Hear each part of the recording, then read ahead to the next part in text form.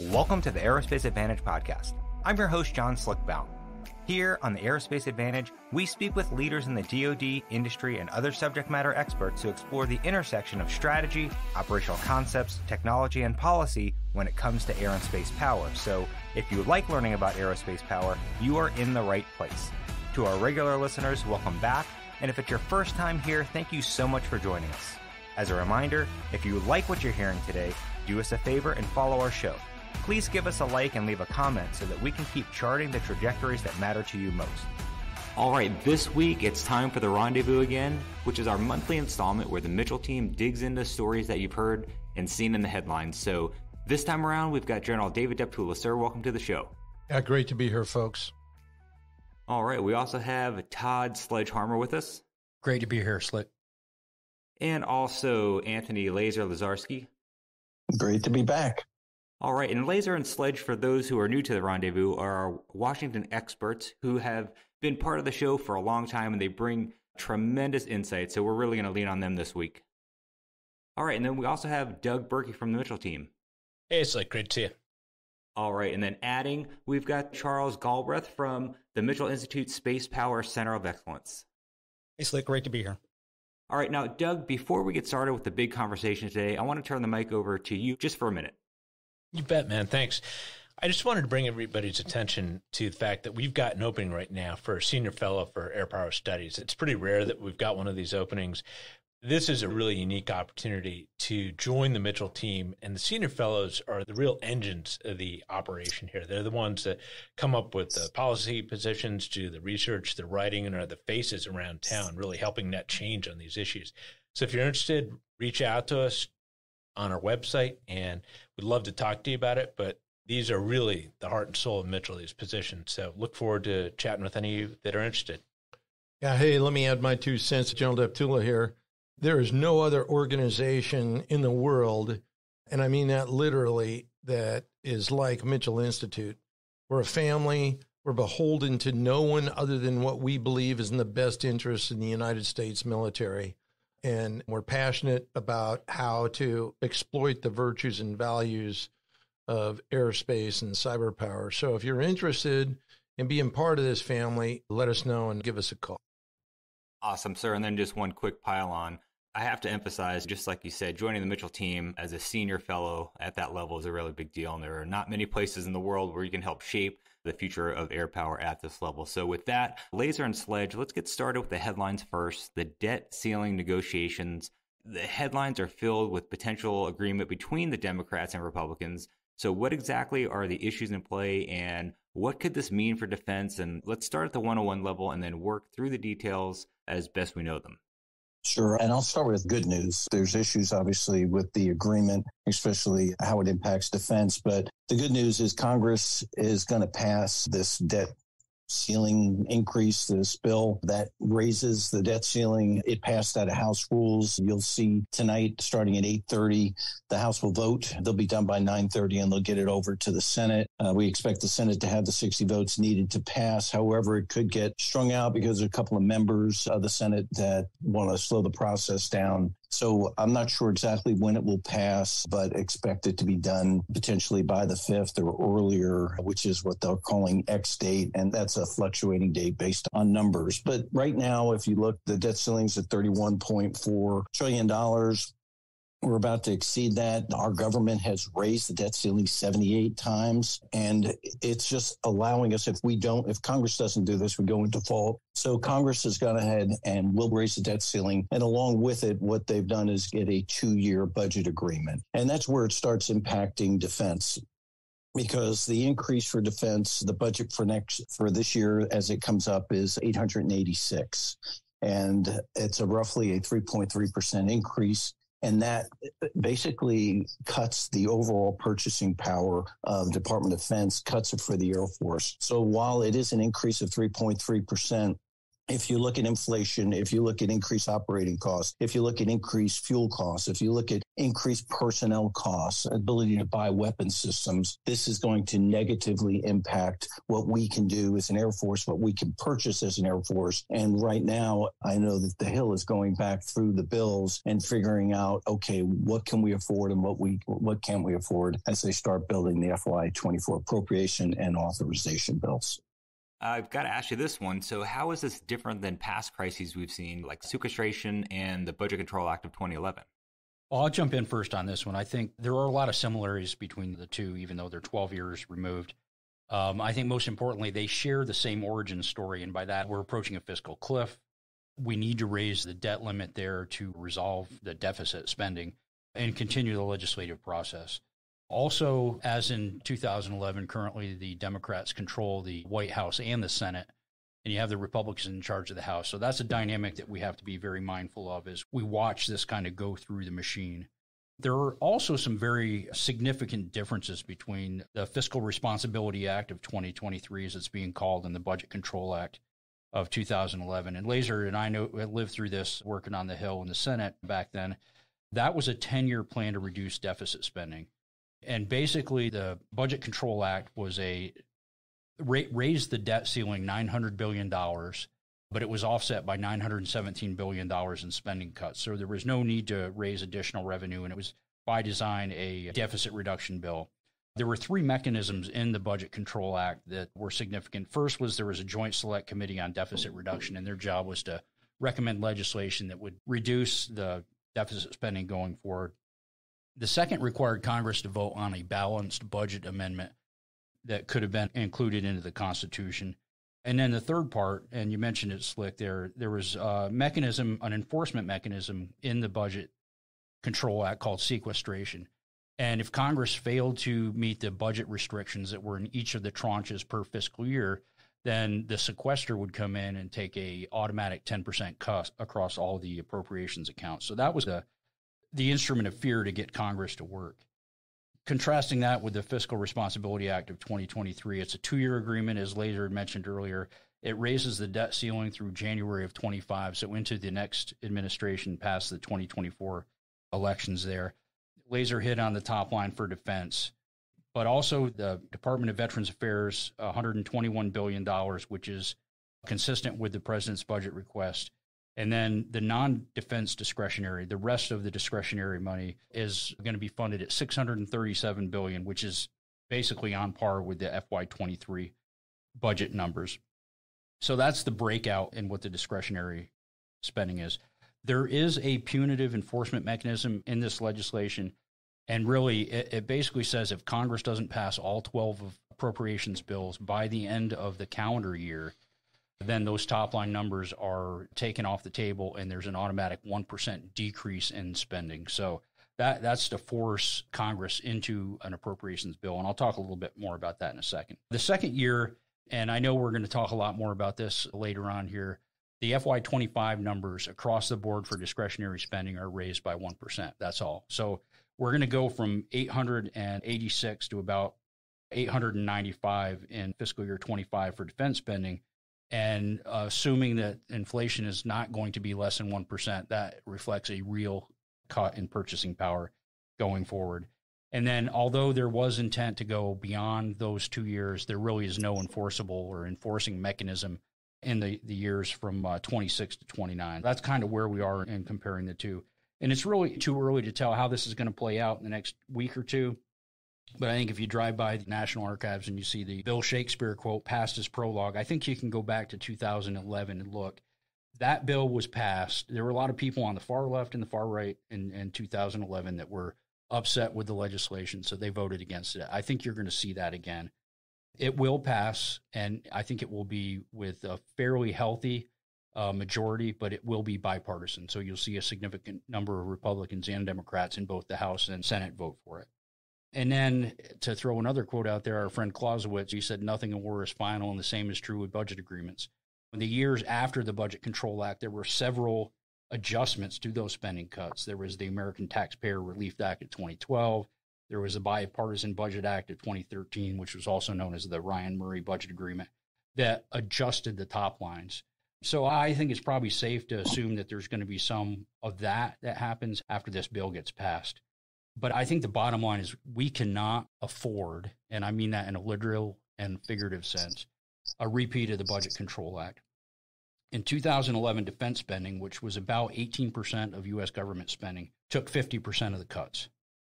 The U.S. Air Force has still not recovered from the readiness hole that was created by the Budget Control Act. And I know that even though defense spending was largely untouched in the Fiscal Responsibility Act of 2023, we cannot afford to see history repeat itself.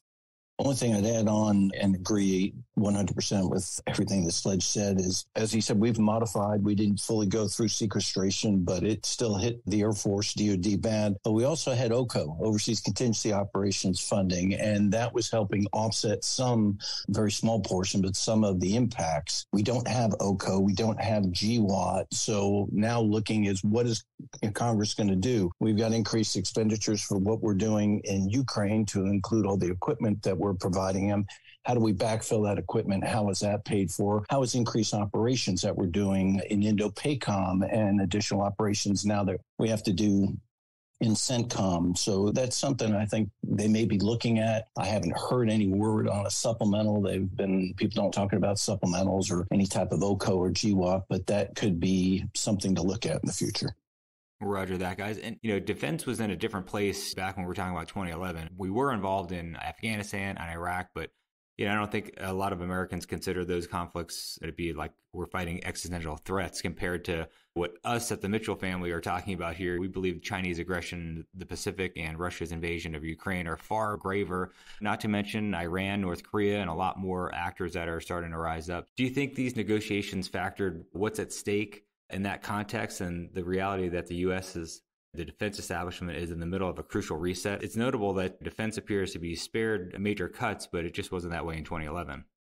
I'd say absolutely. Of course, I get a little scared. If this wasn't happening, how bad would defense have been cut if there wasn't a threat out there? And we have to thank China for everything they're doing eh, around the world. Indo-PACOM, our allies are looking at the United States. United States is looking at what it needs to do in Indo-PACOM. Russia has woken Europe up, both Eastern Europe and Western Europe up. And so now they're looking at working with the United States. We're looking at what we need to do there.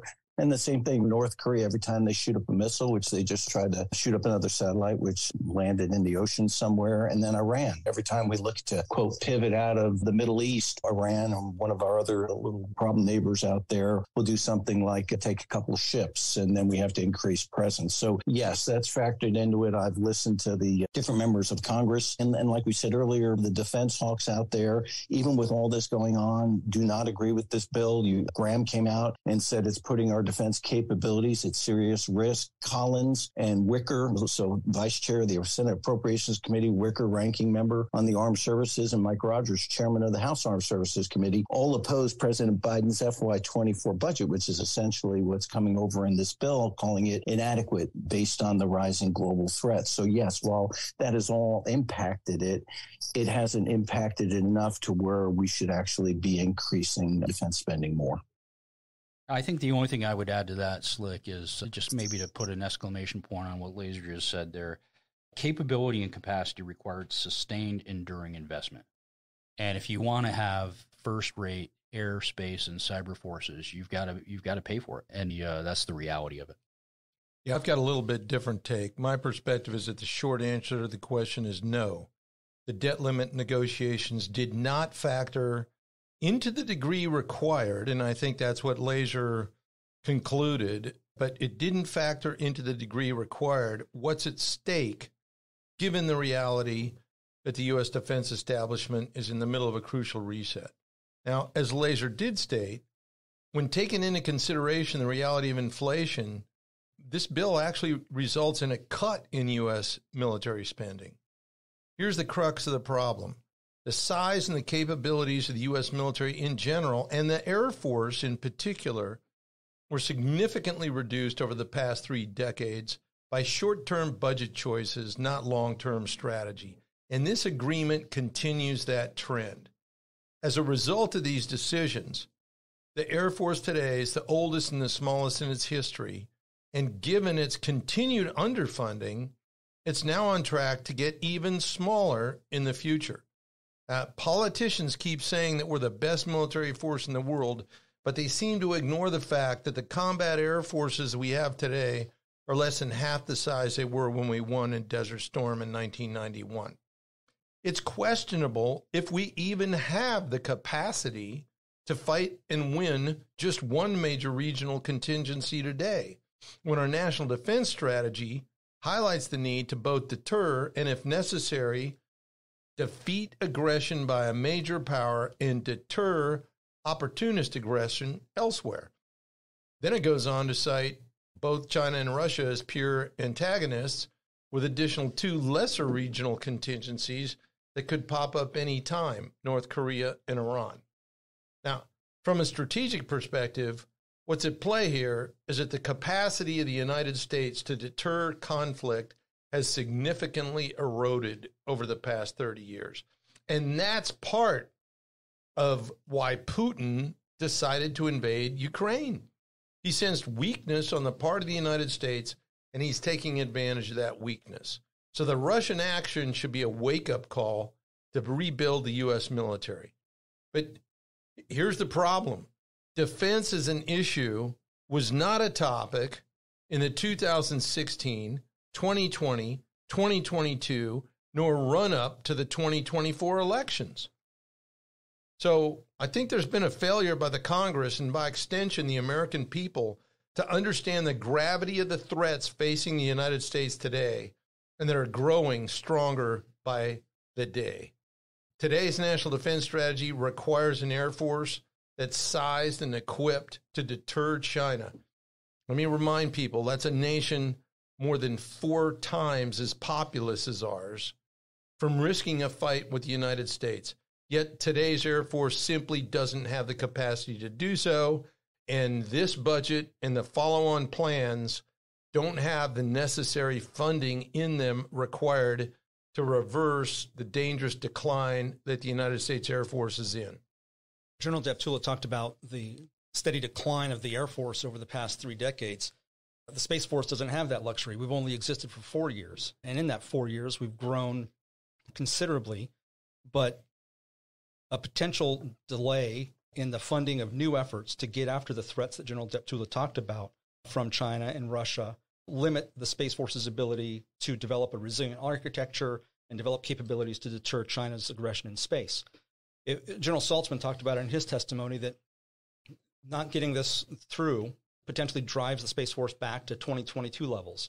So that we were basically half the Space Force we are today.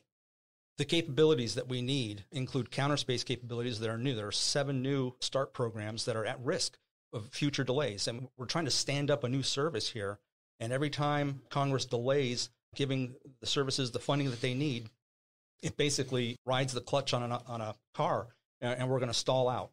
We've got to be able to maintain consistent funding and continued growth. A steady state and, and factoring in inflation that goes actually in the wrong direction is absolutely the opposite of what the Space Force needs to grow to be the service that it has to be to help deter conflict. We've seen Russia's invasion of Ukraine, the use of cyber and RF weapons to try to deny the Ukrainians access to space. We absolutely have to assume that in a conflict with the United States, they're going to do that and more. Both China and Russia have demonstrated RF, cyber, laser, and co orbital threats. So our space systems are in a very precarious position we built our architecture based on assuming that space was a relatively safe environment. We've recognized that was a false assumption, and we're taking active steps to try to increase the resilience of our overall or overall architecture. But we can't do that if we don't get the funding that we need to make those changes. Now, Charles, that's really well said. And why did we create a space force if we're not willing to resource it to do the job that's required in a job that's fundamentally changed really fast? And I think the other point I want to highlight here is that the Air Force took a pause in modernization in the 90s, the 2000s, and 2010s. It was all premised on modernization in the 2020s, which required ramped funding. So if we cut out that tranche of cash, you are now extending for a fourth decade very suboptimal modernization that just doesn't hack it. And that's how we get to things like gapping fighters at Kadena, where we literally just don't have enough new jets to backfill ones that are so old they have to be retired. It's going to cascade throughout units around the country. So, how are we going to pay for KC 46s, F 35s, B 21s, CCAs, the replacement for search and rescue helicopters, T 70, you name it? You either backfill these with something new or you sunset the mission. And without the cash increase, it, it doesn't happen. There isn't enough to get there from here. Yeah, Doug, I mean, you just brought up a point. I don't think we've really wrapped our minds around the fact that we don't have a permanent, or we're planning on not having a permanent party air superiority squadron or squadrons in Kadena. So that we'll let that sink in for a second. But I want to go around the table on this one. We've seen the Air Force and the Space Force leadership testify at posture hearings. Any thoughts on the major messages that they've delivered and the issues members are choosing to prioritize? It's a great question, Slick. I think Secretary Kendall's first budget, built entirely under his direction, does a fine job of underwriting necessary Air Force and Space Force capabilities. But the demands on the Air Force still far exceed the resources that has been allocated. Today, it simply does not have the capacity to execute the nation's defense strategy. So, if the Department of the Air Force's plans are going to have a chance for success, its continued underfunding must be reversed.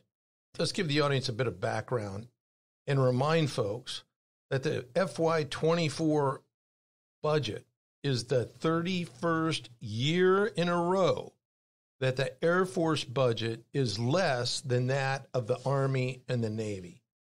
And that's why the Air Force today is the oldest and the smallest it's ever been in its history.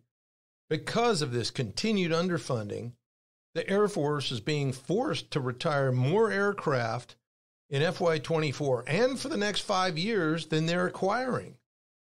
No mission can tolerate this.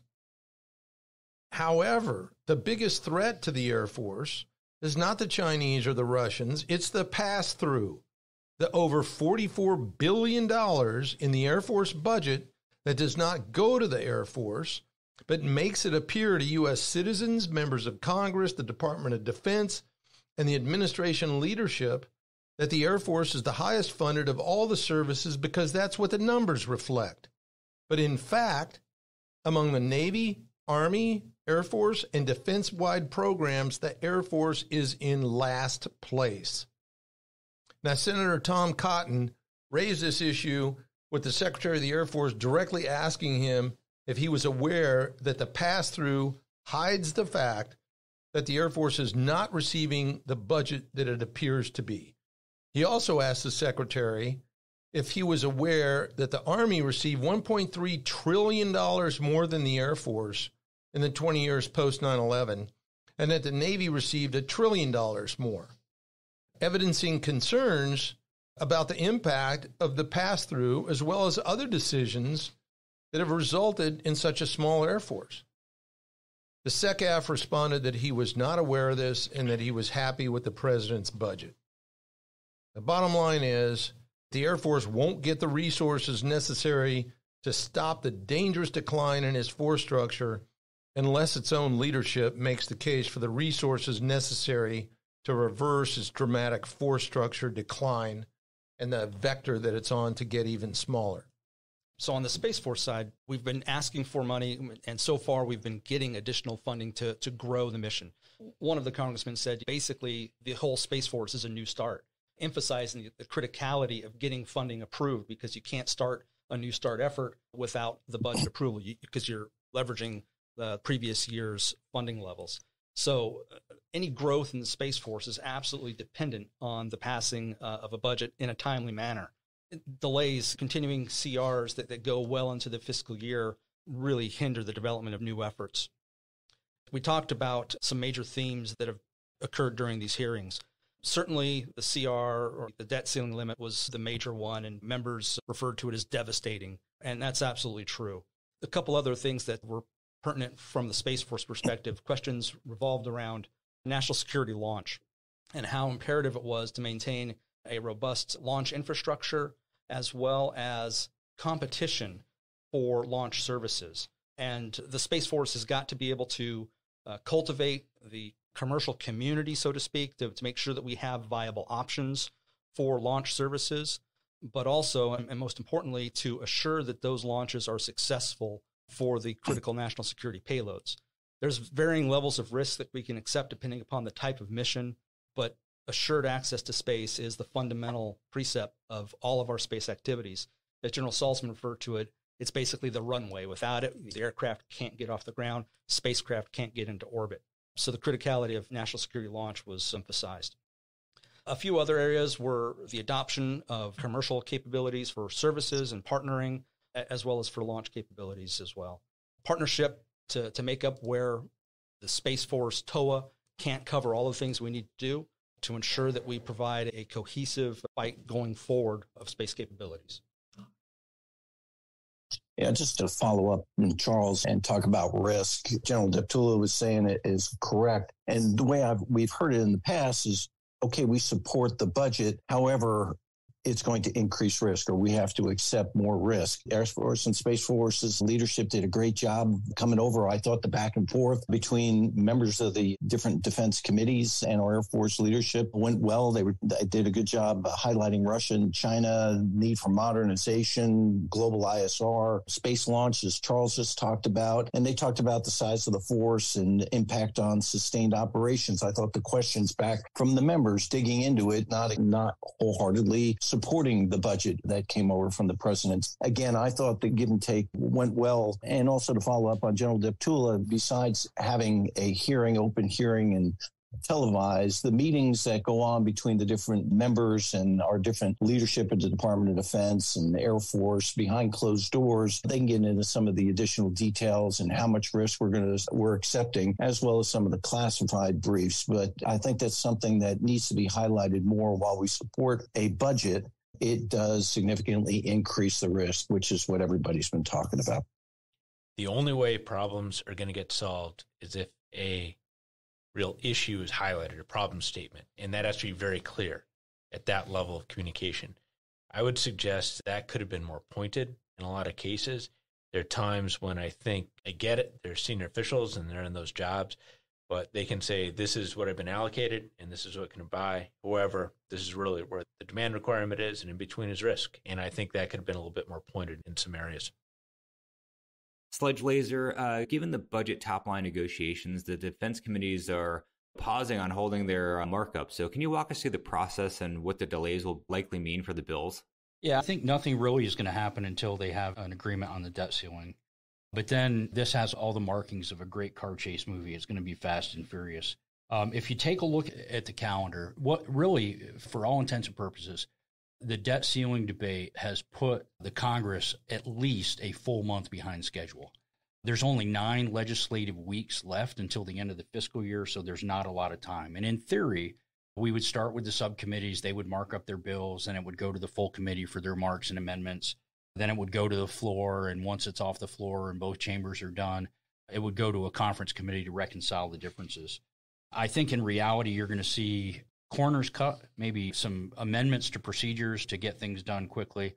It looks like the first full week in June, so somewhere around the 6th and the 7th, the House Armed Service Committees, subcommittees will do their markups. That'll be the first shoe to drop. I know some of the House Appropriations subcommittees have already done their markups, but they'll need to be readjusted there for the new top line numbers. And then we're looking at full committee marks, and I'm hearing something to the effect around the 21st of June, you will have the HASC full committee, you'll have the SASC subcommittees and full committees in the same week. And then you'll have the House Defense Appropriations Committee marking their bills all on or about the 21st of June. It's going to be very fast and there's going to be a lot of activity there. How I see this playing out in the future, I, again, I think there's going to be very similar to what we've seen in the past several years. Nothing major is going to get passed until December when we have the National Defense Authorization Act, followed shortly by some type of an omnibus bill that will carry the 12 appropriations bills. But I will also throw a warning out there. A lot of the debt ceiling drama here is creating scar tissue on the far left and the far right. And it's going to be tough in the House to get to 218 and tough in the Senate to get to 60 to pass legislation remains to be seen, you know, how much support will waver for passing a bill. But there are whispers that this year that Congress will be unable to pass a policy bill. So that would be the first time in over 63 years we haven't had a Defense Authorization Act. And then there are rumors uh, or whispers, to be more appropriate, that the government would be funded under a full year continuing resolution.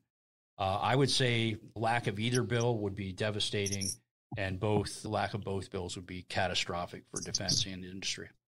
I'll be a little more optimistic than Sledge. First of all, he's right. There's six weeks between now and the August recess of in session time, and they've got more to do than they have time. So every bill, if we're trying to do regular order and everything that Sledge said is true, we've got the House Armed Services Committee, the Senate Armed Services Committee. We need to mark up both of them in June, and then we need to try to get them to the floor in July. But then at the same time, we have Senate appropriators and House appropriators, and we're trying to get 12 bills through, try to get them to the floor floor and try to get everything done before the August recess, which is not going to happen. But I think they're going to try to get as many done as they can. And then as we would hope they would try to do some sort of conference. And I'm going to say optimistic. I think both the House and the Senate authorizers will get their bills done before the August recess if they can get floor time. And at least they can start working their bills together. And I'll be optimistic that they get it done by December also. The appropriations bills, I think they'll get a handful done and then they'll try to pick it up in September when they come back and then try to work some sort of they want to get back to normal order. That's what they keep saying. I think it'll be some version in between what we've been doing lately with omnibuses that you read the day prior and then back to normal order. But that's what the chairs and the vice chairs of the appropriations committee have been saying. One thing to throw in there as we all know that general brown has been nominated to be the next chairman of the joint chiefs. So we have nomination hearings that we have to get through. We have chief of naval operations. We have marine corps commandant. We have chairman of the joint chiefs. We have chief of staff of the Air Force, we have cyber, we have the other COCOMs, and that has all got to get built into this schedule. So Congress is going to have their hands full all the way up to the August recess. And then, as Sledge said, we're already behind. So we'll be into another CR, and I'm going to stay hopeful that we get all these bills done right around Christmas time so that we can go into the FY25 cycle. Yeah, thanks for all of that, gentlemen. Doug, I want to bring you in here because Congressman Bacon introduced legis- legislation that focuses on the Air National Guard fighter force. So, can you walk us all through what's in play here? Because there's a lot.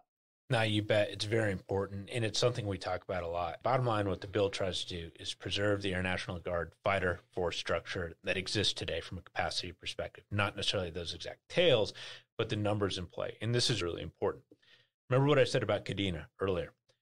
The Air Force literally did not have jets available to backfill aircraft that were retiring because they were just so old they had to be retired.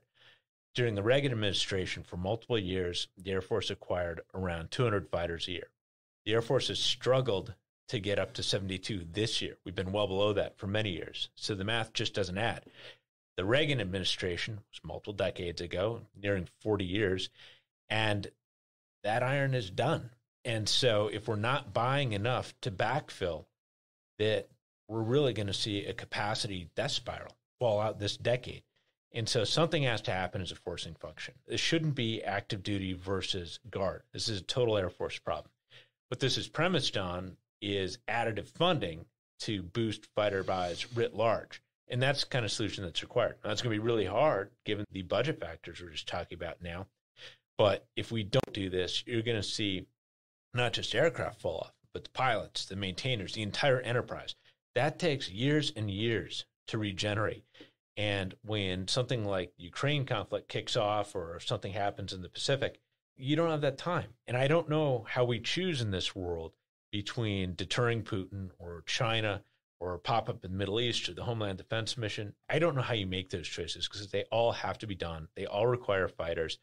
And when you deferred buys for 30 years, this is where you're at. You got to make it up all at once. It's very hard. It does require additive funding. I think where we really have to look is back within the budget build itself. There are trades that can be made within the services or between the services to plus this up. And I think it's important to highlight you don't have joint power unless you have air power. And it, that air superiority element is so crucial. And so we, people need to think very seriously about that.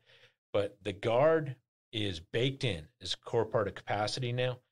We've got to steward it, but active duty is there right with it. Those aircraft are also old. It's all got to be taken care of, and it has to be taken care of this decade. The old iron will not last any longer.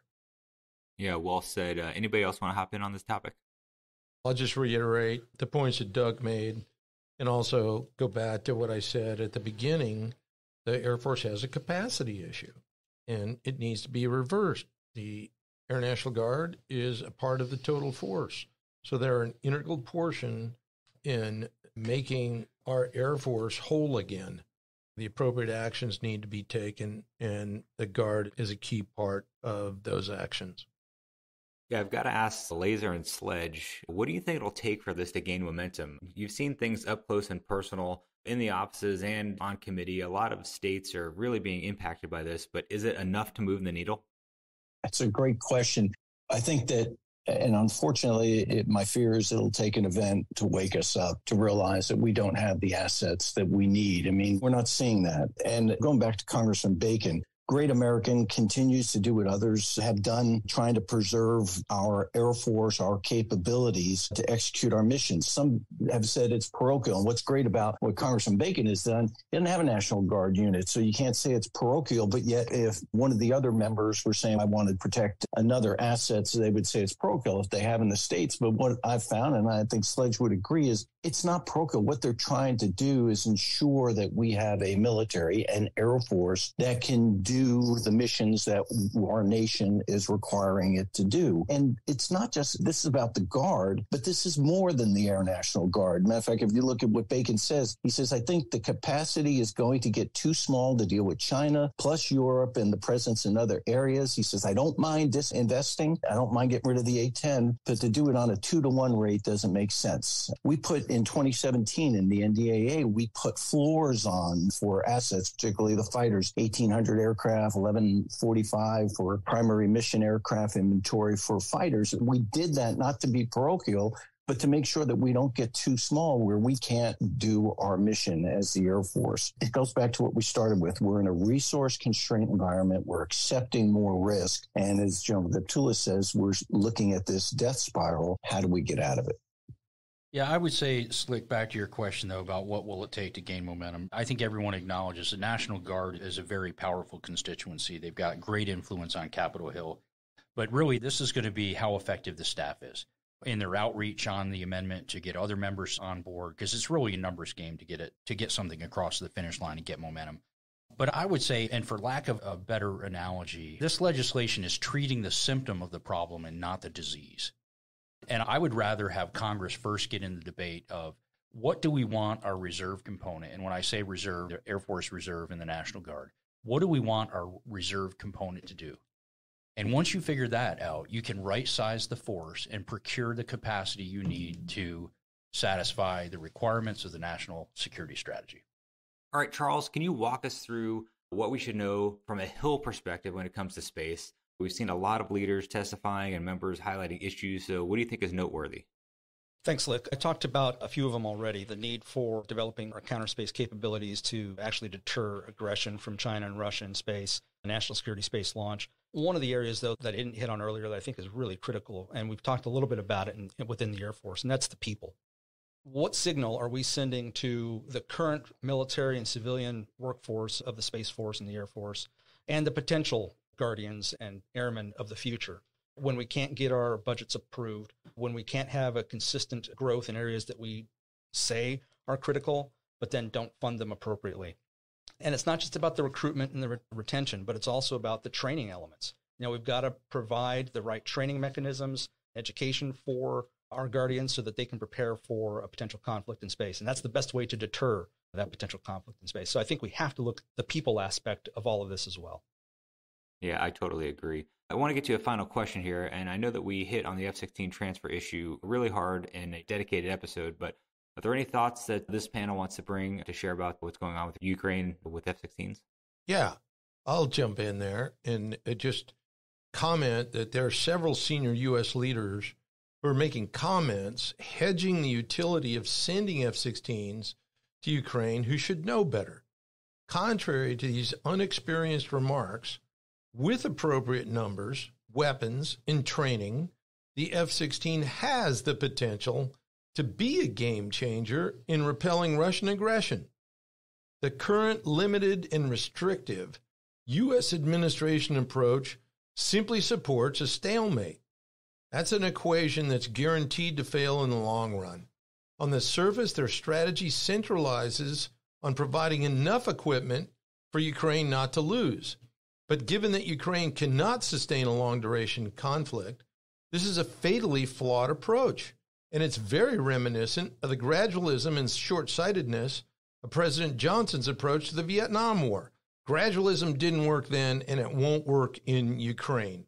The half hearted and hedging language accompanying the approval of other nations to train and supply F 16s to Ukraine is unimaginative and, quite frankly, very disappointing. Slick Charles here. I'm not going to talk about F 16s because uh, I'm not a pilot. I'm a former Guardian, and I will talk about space and some of the lessons learned from the Ukraine conflict. One, we saw Russia use cyber attacks to deny commercial satellite communications to Ukraine. We saw Ukraine pivot to the use of Starlink, a proliferated low Earth orbit constellation for communications.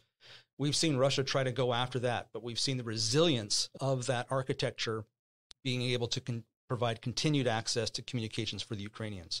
So I think this is a great lesson for us to learn and move forward with, but we can't rest there because Russia and China are also learning from this and they're going to develop new capabilities to go after those proliferated assets. And so we can't prepare for the last fight. We've always got to prepare for the next fight and move forward. Over. Yeah, yeah, absolutely agree. Last question here. I just want to get the uh, Sledge and Laser to hop in on any take on hill developments here. Folks must be happy about the F 16s, but there's got to be some frustration that it took us a year to get to a yes.